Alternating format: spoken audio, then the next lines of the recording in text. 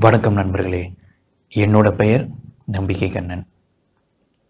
ஒரு சில மாதங்களுக்கு முன்னாடி வாட்ஸ்அப்பில் எனக்கு ஒருத்தர் மெசேஜ் அனுப்பியிருந்தார். எனக்கு பண பிரச்சனையாக இருக்குங்க. பண தேவை அதிகமாக இருக்குது ஆனால் பண வரவு அந்த அளவுக்கு இல்லை. ஏகப்பட்ட கடன் இருக்கின்றது. பசங்களை படிக்க வைக்கணும். பிஸ்னஸை சிறப்பாக நடத்தணும். இது எதுக்கும் பணம் இல்லை. பணம் அதிக அளவில் எனக்கு தேவைப்படுது. ஒரே பிரச்சனையாக இருக்குங்க. இந்த பணம் இல்லாத காரணத்தினால என் வாழ்க்கையில் நிம்மதியே இல்லை. என் வாழ்க்கையில் ஒவ்வொரு நிமிடமும் நரகமாக இருக்கின்றது. நிம்மதியெல்லாம் காணாமல் போயிடுச்சுங்க அப்படின்னார். இன்னொருத்தர் என்கிட்ட வாட்ஸ்அப்பில் என்ன சொல்லியிருந்தார் அப்படின்னா எனக்கு பணம் ஒரு பிரச்சனை கிடையாது. அதிக அளவில் என்கிட்ட பணம் இருக்குங்க. பணத்துக்கு எந்த குறையுமே கிடையாது. ஆனால் எனக்கு வேறு சில பிரச்சனைகள் இருக்குது அதனால் வாழ்க்கையில் நிம்மதியே இல்லை. எனக்கு வந்து ஏதாவது நோய் வந்துருமோ அப்படின்னு ஒரு பயம் இருந்துக்கிட்டே இருக்குது மாதம் ஒரு தடவை நான் போயிட்டு ஹெல்த் செக்கப் பண்ணுறேன் டாக்டர்கள் நீங்கள் நல்லா தான் இருக்கீங்க அப்படின்னு சொல்கிறாங்க இருந்தாலும் அந்த பயம் என்னை வாட்டி வதைக்குது. ஒவ்வொரு முறை தெரிஞ்சவங்களுக்கு ஏதாவது உடம்பு சரியில்லாமல் போகும்போது எனக்கு பயம் வருகின்றது.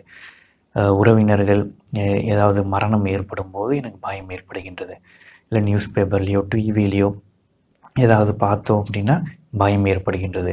எனக்கும் இப்படி ஆயிடுமோ அப்படின்னு பயம் வருதுங்க. அதுக்கப்புறமா வீட்டில் மனைவி குழந்தைகள் இவங்கெல்லாம் வெளியில் போயிருக்கும்போது ஏதாவது ஆக்சிடெண்ட் நடந்துருமோ அவங்களுக்கு அடிபட்டுருமோ அப்படின்ற கவலை அதிக அளவில் இருக்குது பயம் அதிக அளவில் இருக்குது இல்லைன்னா வந்து இப்போ பூகம்பம் வந்து வீடு இடிஞ்சு விழுந்து நான் இறந்துருவோனோ அப்படின்னு பயம் ஏற்படுது. இப்படி என்னோடய நிம்மதியை போயிடுச்சிங்க எப்போ பார்த்தாலும் பயம் பயம். ஏதாவது பயம் வந்துக்கிட்டே இருக்குது கவலையிலேயே நான் மூழ்கி போயிருக்கேங்க. இதுலேருந்து எப்படி மீண்டு மீண்டு வருவதுன்னே தெரியல அப்படின்னு அவர் சொல்லியிருந்தார். இப்போ முதலாவது நபர் என்ன சொல்கிறார் சொன்னார்னா பணம் இருந்தால் போதும். அவருடைய எல்லா பிரச்சனையும் தீர்ந்துரும் அப்படின்னு சொன்னார். ஆனால் அது பொய் தானே? இரண்டாவது நபர் சொல்வதை கேட்கும்போது அது பொய் அப்படின்னு புரியுதில்ல. பணம் நிறைய இருந்தால் எல்லா பிரச்சனையும் தீர்ந்துருமா? கண்டிப்பாக தீராது.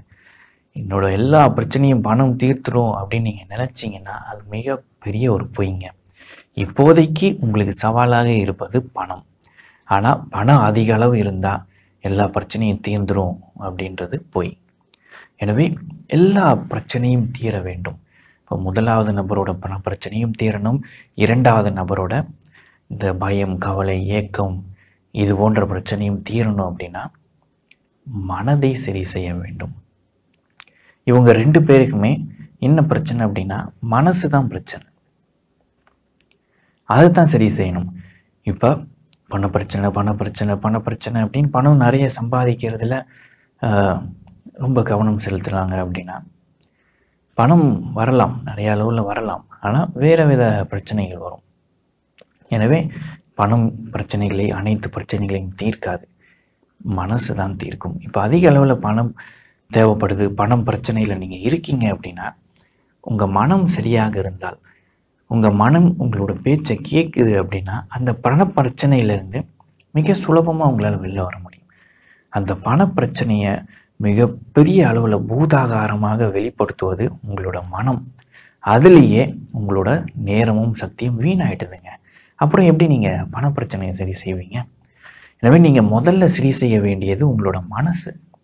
நிறைய பேர் சொல்லுவாங்க இந்த பணப்பிரச்சனை தீர்ந்து விட்டுங்க அதுக்கப்புறம் என்னோட மனசை சரி செய்கிறேன் முடியாது.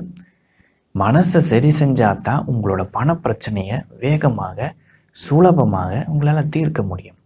எனவே அடிப்படை காரணம் உங்களோட மனசு. உங்கள் மனசு தான் உங்களுக்கு பிரச்சனையாக இருக்குது அதை சரி செய்யணும். அப்போ தான் பணப்பிரச்சனையும் தீரும்.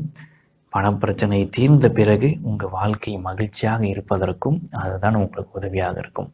எனவே அடிப்படையில் உங்களின் பிரச்சனைகளுக்கு காரணமாக இருப்பது உங்களோட மனசு. அதை எப்படி கையாள்வது? அதை எப்படி சரி செய்வது? உங்களின் எண்ணங்களையும் உணர்வுகளையும் உங்களோட கட்டுப்பாட்டில் எப்படி கொண்டு வருவது? பிறரின் செயல்களும் பேச்சுக்களும் உங்களை பாதிக்காதவாறு உங்களின் மனதை உருவாக்கி கொள்வது எப்படி? இதில் தாங்க நீங்கள் கவனம் செலுத்த வேண்டும். இதில் கவனம் செலுத்தினா மன சுதந்திரம் அடைவீர்கள். மன சுதந்திரம் அடையும் போது பண சுதந்திரம் சுலபமாக அடைய முடியும். எந்தவித பிரச்சனைகளையும் எந்தவித பிரச்சனைகளும் உங்களை துன்புறுத்தாதுங்க. என்னோட மனமார்ந்த வாழ்த்துக்கள். இப்போ கமெண்ட் பதிவு பண்ண நேரம் வந்துருச்சுங்க. உங்களோட மனதை சரி செய்வதற்கு நீங்கள் தொடங்குவீர்களா? அதை பதிவு பண்ணுங்கள் தெரிஞ்சுக்கிறதுக்கு நான் ஆர்வமாக இருக்கேன். இல்லை என்னால் முடியாது அப்படின்னா அதற்கு என்ன காரணம்? அதை பதிவு பண்ணுங்கள் தெரிஞ்சுக்கிறதுக்கு நான் ஆர்வமாக இருக்கேங்க. நீங்கள் வாட்ஸ்அப்பில் இருந்தீங்கன்னா ஒரு மெசேஜ் அனுப்புங்க. தினமும் பயனுள்ள வாசகங்கள் உங்களோட ஃபோனுக்கு வந்து சேரும்.